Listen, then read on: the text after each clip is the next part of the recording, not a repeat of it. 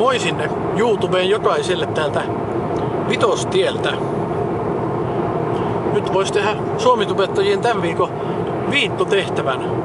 Eli kertoa, mitä odottaa tulevalta kesältä.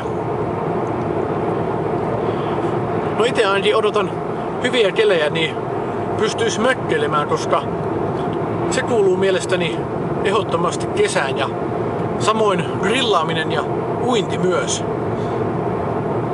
Tosin sitä jälkimmäistä hän pystyy sisätiloissa harrastamaan, mutta ei grillaamista. Se on lämpimänä päivänä mukava pulahtaa uimaan järveen. Virkistää mukavasti ainakin itseäni.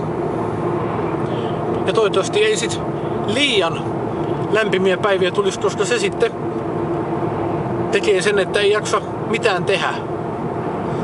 Mutta jos hellepäiviä tulee, niin niitä on tullakseen. Sille ei ihminen oikein mahda mitään. Ja toivottavasti itse ennen kesää olisi työllistynyt. Sanotaan se nyt vielä tässä.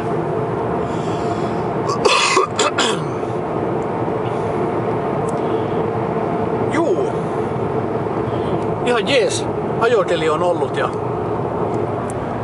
ton verran lämmintä ja ton verran kello.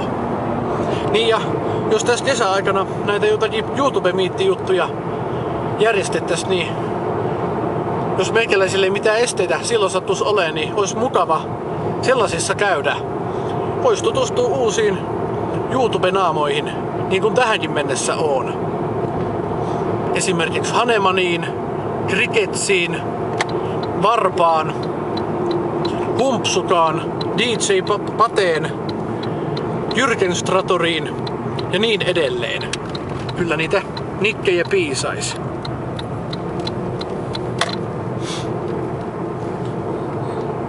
Juu.